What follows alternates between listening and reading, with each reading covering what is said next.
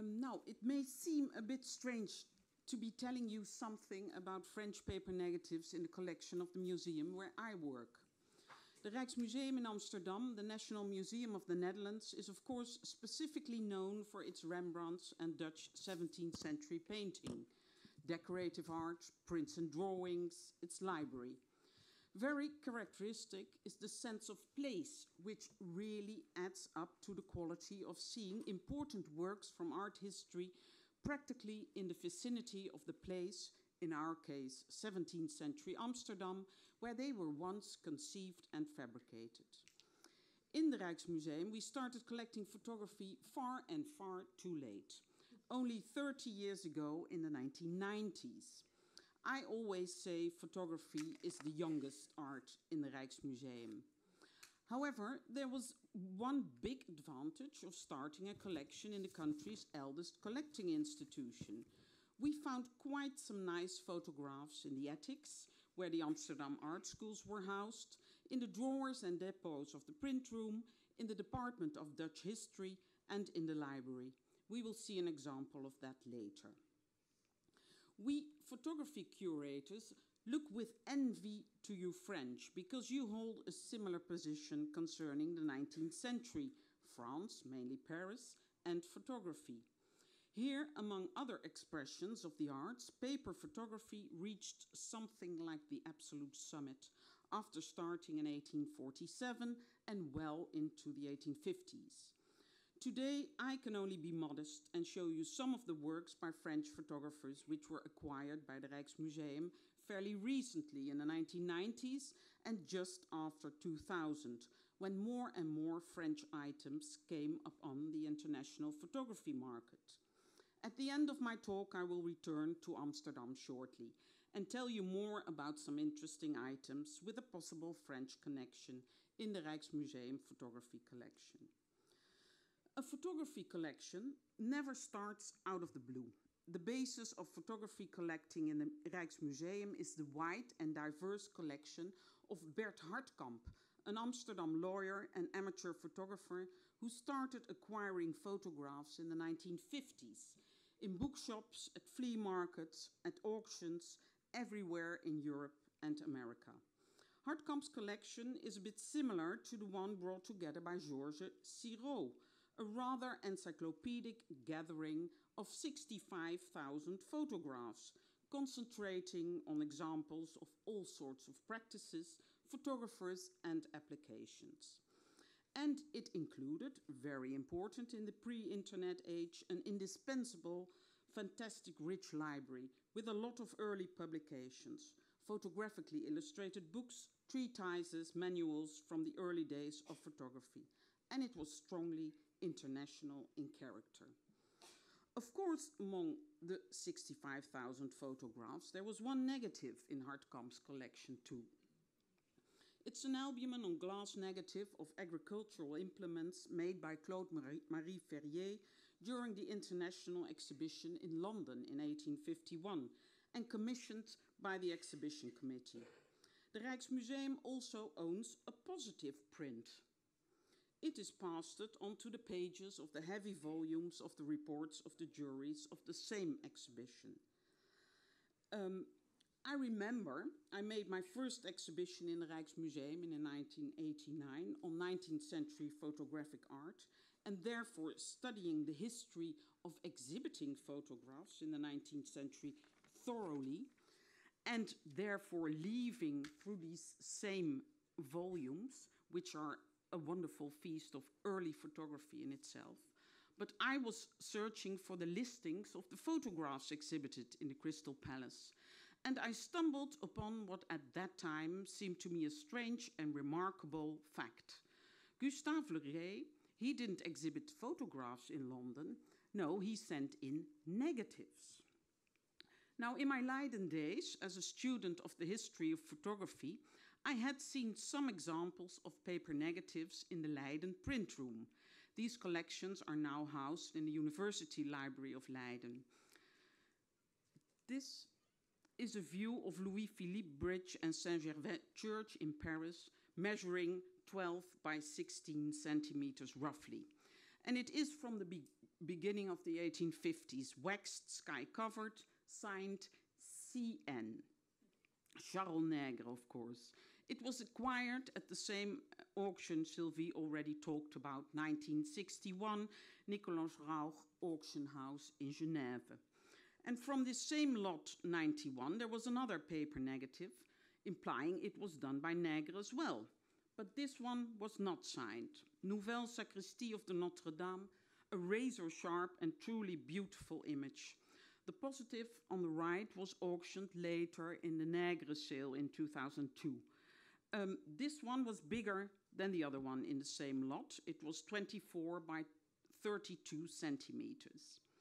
And in the Leiden print room, there was a third acquisition from the 1961 auction, Place de la Bourse, view of Bourse Square before 1855, measuring 16 by 20 centimeters waxed paper. This was lot 59 with a Fortuné Joseph Petiot Groffier PG blind stamp in the lower left bottom corner, visible in the image on the right. Now, in the catalogue, Petiot Groffier, the director of a sugar company in Chalon-sur-Saône, was mentioned not as the photographer, but as the collector.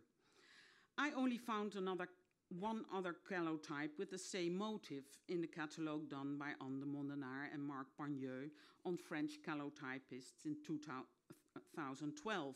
This one was made by Le Secq, who took a view from the other side of the square in the early 50s. But I don't know anything more about these paper negatives. But they must have been acquired by Professor Hans van der Waal, the eminent Dutch Rembrandt scholar and art historian, who was the first in the Netherlands to have the guts to start a public photo collection and learn his students in art history about printmaking as well as photography. From the 1950s onwards, he did that. Van der Waal at that time corresponded with André Jammes, who could well have advised him on this. Now, the key to these three images in the Leiden print room lies, of course, in the provenance. The Nicolas Rauch auction catalogue, written by Monsieur André Jammes, that's an interesting state of the photographic art and the market in 1961. In our copy, prices are included. So these were my first encounters with the paper negative. Now I will return to the Rijksmuseum collection and to the sepia tones. It has never been a matter of discussion for us whether to consider paper negatives as objects worthy of collecting in our museum. In the 1990s, we wanted to make a proper French school, as we call it, in the collection of 19th century photography. And then this self portrait in ne negative and positive by Louis Robert were acquired. And when in 2002 the oeuvre of Charles Nègre came onto the market, the Rijksmuseum had an eye on a later view of Paris, which was auctioned together with its counterpart in negative. We succeeded in the turmoil of that unique and momentous sale with this pair. Here's the negative. View of Quai de la Seine, of course. For us, what seemed a once in a lifetime opportunity turned out to be the moment to acquire even more of an artist heavily indebted to the Dutch tradition of genre painting and a true master of light and shadow, creating that wonderful clair-obscur, which is such a specific quality in handling and mastery of the unique properties of the paper negative. I will show you now quickly a further group of 12 paper negatives. Some of them come in pairs with a positive print and they were all bought at the same auction and came in our direction by donations by three Dutch private collectors of photography. First, there's Vierge Saint-Aignan, Notre Dame Church, 1853, where the negative is definitely the better image of the two. Then there are some portals of Chartres Cathedral,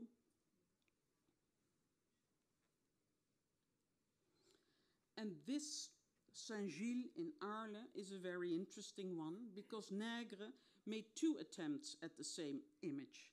And XRF research showed that this blackish tinted negative was not fixed.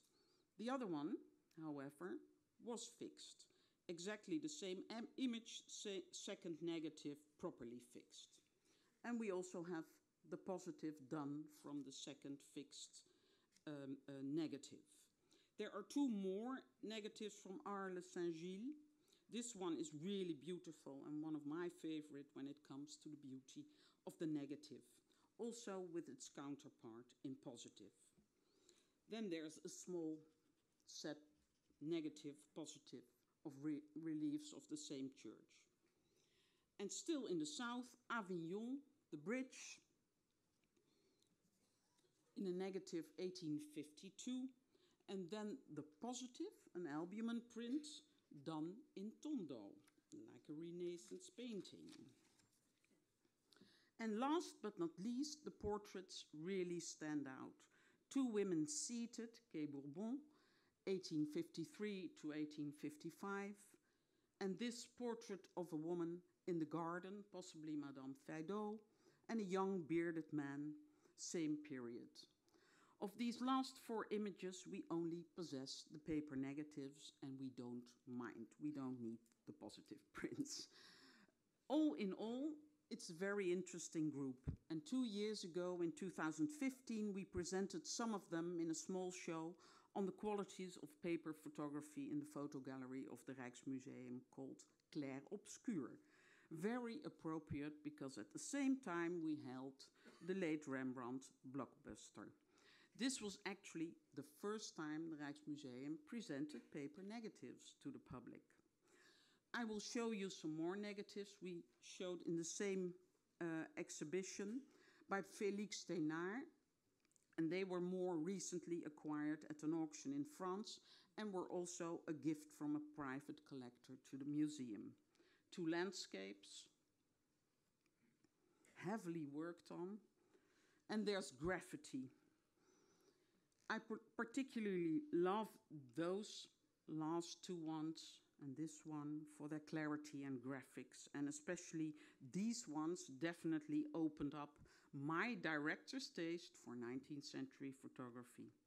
Our conservator Martin Jurgens will tell you tomorrow about our experiences with uh, this same exhibition, which was in a way a test with paper negatives exhibiting uh, uh, using light sheets and so on. Now, I would like to conclude my talk with some lines of further research into the topic of French paper negatives. The first deals with a panoramic photograph of Baalbek by Gustave Le Gray in our collection. Now, this was an unexpected find, this sort of long forget, forgotten treasure in our own backyard in a folder with prints from the Middle East in the collection of the print room. It's practically the only photograph in our collection where the provenance lacks, still lacks, I have to say, because in the end I will manage to find it. We have some ideas. For instance, the Dutch artist and Orientalist Willem de Famars-Testas, who actually met Le Gray during his stay in Egypt in the late 1860s. Now, the interesting fact is, of course, that this panoramic image was made up from two paper negatives. So this is how Le Gray used these two separate images or constituents, let's call them takes, with the intention of pasting them together.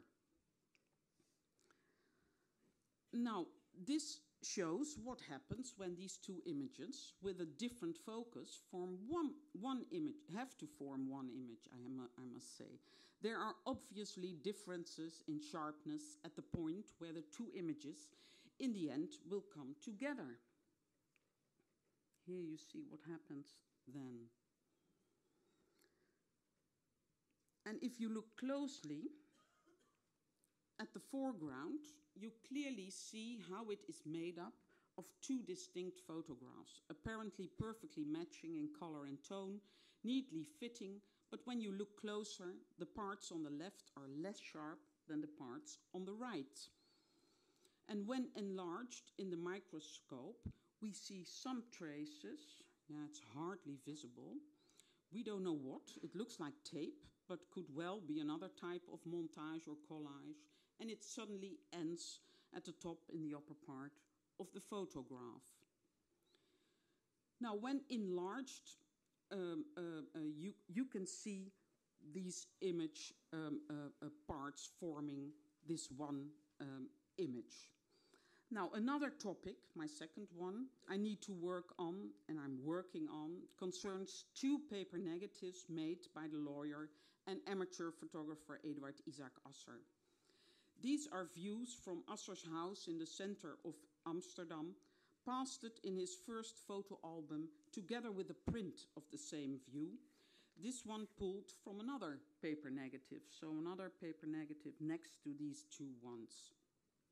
This is the small positive print. These tiny shreds of paper only measure 8 by 7 and 9.5 by 8 centimeters. But they turned out to be the earliest photographs we know of Amsterdam. And from the building activities depicted on the left photograph, we concluded the photograph was taken in 1845 when Hotel l'Europe um, uh, which is opposite uh, Asser's house um, and which is depicted on the photograph, was thoroughly renovated. The negative on the right was taken after the renovation of the hotel, so must have been after 1845 or probably 1846. Now, this was confirmed again by research done at the Amsterdam Municipal Archives in 2010 and for long we thought this was very plausible. Asser started experimenting with paper photography and made these negatives around 1845. And from the size of the negatives and some more sol small salted paper prints, portraits, reproductions, statues, we concluded he must have used his daguerreotype camera for this and he probably worked together on it with a Frenchman, Marie-Eugène Boer, his friend. And Boer came from Besançon to Amsterdam to start a factory to produce red dye from garancine, the root of madder which was grown in the Netherlands in the province of Zeeland in abundance.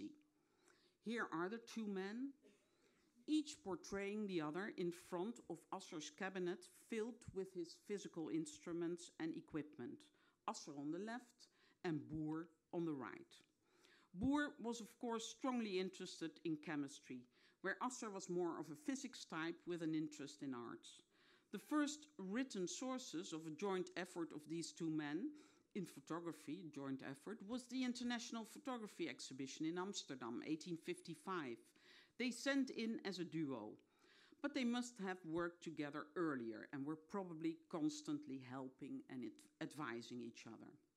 But when I heard Celine's talk on French paper negatives in 2016 at the ICOM Photographic Materials Group Conference in Amsterdam as being practiced roughly from 1847 on, I looked into the two paper negatives of Amsterdam again it seemed so early for the Dutchman to be doing photography on paper. This was not England, um, uh, uh, nor was this Paris, where Talbot demonstrated his method to a smaller group. So at the moment, we're doing some more research, finding out that Boer only arrived in Amsterdam in 1849. So gone is the French connection. These paper negatives, if done in 1845, must have been done by Asser himself um, uh, and on his own. Could XRF uh, research tell us a bit more? Our conservator, Rosina Herrero, uh, Herrera Garrido, who did the research, she's also here today, uh, she now supposes that Asser did not fix his calotypes, but stabilized them with potassium bromide. There was a high presence of silver in the white parts, um, uh, and that's the roof in the upper image where the, the, the green uh, uh, dot is. Um, um, so there's, you would expect there only white paper and no chemicals whatsoever. And if we compare the chemicals used, silver, sulfur, and the halides, bromide, uh, chloride, iodide, it seems that Asser worked with Talbot's method but we also found traces of mercury in these negatives, and even in pr another print in Asser's albums. Did he do that on purpose, trying out the daguerreotype method on paper? Were his hands, his working table, or camera dirty? Was he experimenting himself? And we must keep in mind the title Asser gave to his first photo album, where these three images, so the two negatives and the positive image of this early view of Amsterdam, they were pasted together on one page in this album.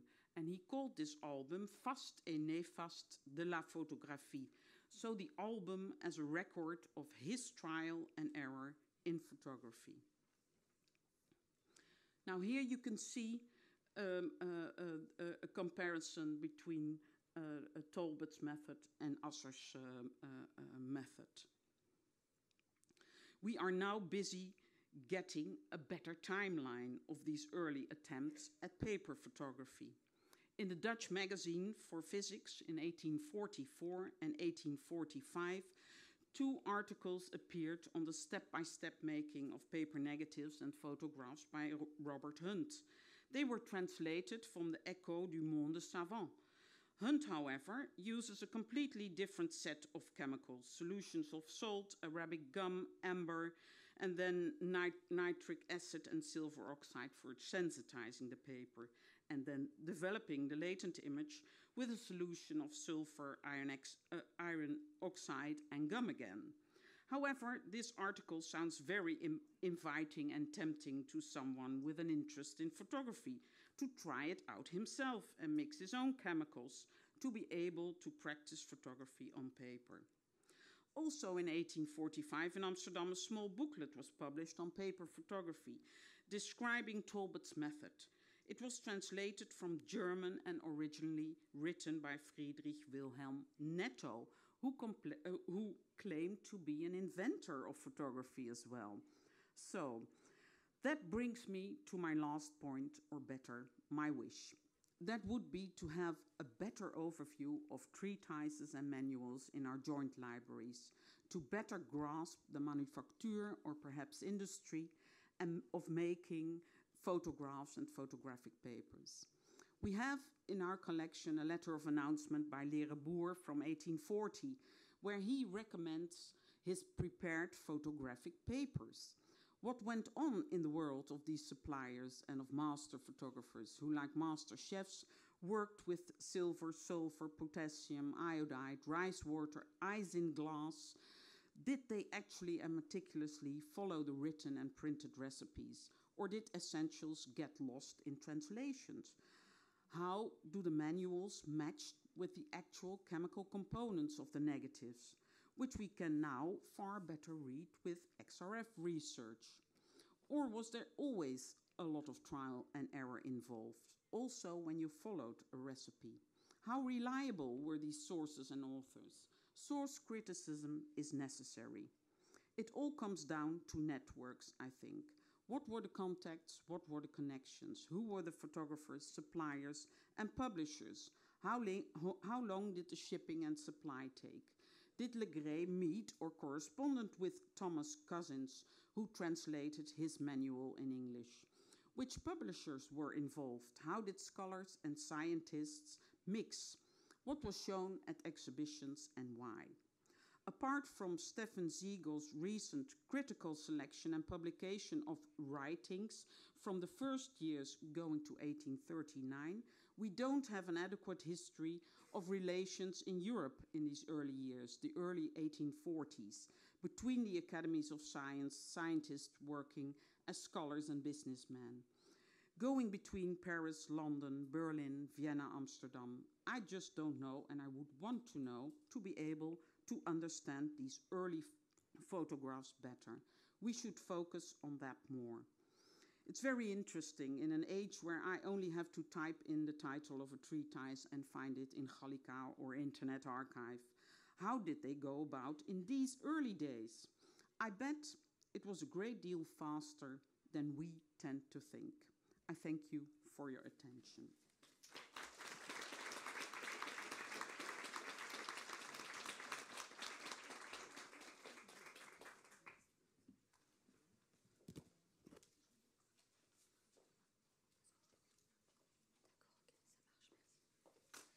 Merci beaucoup, Mathie, pour cette euh, intervention et on ne peut que partager vos souhaits.